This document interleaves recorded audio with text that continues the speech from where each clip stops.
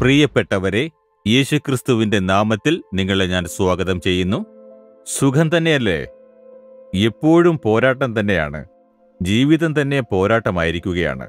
പക്ഷേ ഇതെന്തൊരു പോരാട്ടമാണ് എന്ന് വിഷമിക്കുകയാണോ? ഇതുപോലെ മനസ്സ് തളരരുത്. ദൈവത്തിന്റെ വാഗ്ദാനം പറയുന്നത് എന്താണെന്നറിയാമോ? മുപ്പത്തിനാലാം സങ്കീർത്തനം പതിനേഴാം വചനം വായിച്ചു നോക്കിയാൽ നീതിമാന്മാർ നിലവിളിച്ചു യഹോവ അത് കേട്ടു. സകല കഷ്ടങ്ങളിൽ നിന്നും അവരെ വിടുവിച്ചു. കഷ്ടപ്പാടുകൾ ഉണ്ടാവും പക്ഷേ ദൈവം വിടുവിക്കുന്നില്ലേ? ചിന്തിച്ചു നോക്കൂ കഷ്ടപ്പാടുകൾ കാരണം നിങ്ങൾ നശിച്ചു പോയിട്ടുണ്ടോ?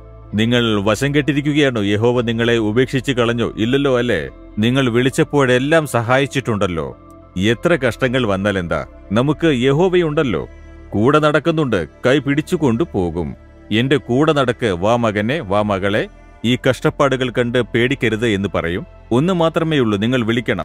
നീതിമാനായിരിക്കണം. ആരാണ് നീതിമാൻ? യേശുവിന്റെ രക്തത്താൽ കഴുകപ്പെട്ടവരാണ് നീതിമാന്മാർ. യേശുവെ എന്റെ പാപത്തെ ക്ഷമിക്കണമേ എന്റെ ഹൃദയത്തിൽ വന്ന് വസിക്കണമേ എന്നപേക്ഷിക്കുമ്പോൾ അവൻ പാപികളെയും നീതിമാന്മാരാക്കി മാറ്റും. യേശുവിന്റെ രക്തം കൊണ്ടുണ്ടാകുന്ന ഭാഗ്യമാണത്. അവർ വിളിക്കുമ്പോഴാണ് ദൈവം ഉത്തരം നൽകുക. കേട്ടിട്ടില്ലേ? കിളികൾ വിളിക്കുന്ന ശബ്ദം നിങ്ങൾ കേൾക്കുന്നില്ലേ? ഇത് മനോഹരമായ തോട്ടമാണ്. ഞാൻ ഇവിടെ നിന്നാണ് ദൈവത്തെ പലപ്പോഴും വിളിച്ചിട്ടുള്ളത്. വളരെ ശാന്തമായിരിക്കും. കണ്ടില്ലേ ഏകാന്തമായൊരു തോട്ടം.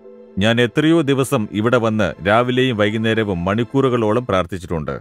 ഇവിടെ നിന്നുകൊണ്ട് യഹോവയോട് നിലവിളിച്ചിട്ടുണ്ട് ദൈവമേ എന്നെ സഹായിക്കണമേ എന്ന്. എല്ലാറ്റിനും ദൈവം ഉത്തരം നൽകിയിട്ടുണ്ട്. നിങ്ങൾക്കും ഇന്ന് ഉത്തരം നൽകും. ഉപദ്രവങ്ങൾ മാറും. ഭയപ്പെടരുത്. എന്നാൽ നമുക്കിപ്പോൾ പ്രാർത്ഥിക്കാം. ഒരു നിമിഷം. ഹൃദയത്തിൽ കൈവച്ചുകൊണ്ട് ദൈവമേ ഈ ഉപദ്രവങ്ങളിൽ നിന്ന് എന്നെ വിടുവിക്കണമേ. അങ്ങയുടെ രക്തത്താൽ എന്നെ കഴുകി നീതിമാനാക്കിയിരിക്കുന്നു. അതിനാൽ ഞാൻ വിശ്വാസത്തോടു കൂടി വിളിക്കുന്നു. ഈ പ്രയാസമുള്ള ഉപദ്രവങ്ങളെ നീക്കി എന്നെ വിടുവിക്കണമേ. ഇന്നൊരത്ഭുതത്തെ കാണാൻ ഇട നൽകണമേ. യേശുവിന്റെ നാമത്തിൽ പ്രാർത്ഥിക്കുന്നു പിതാവേ. ആമേൻ ആമേൻ.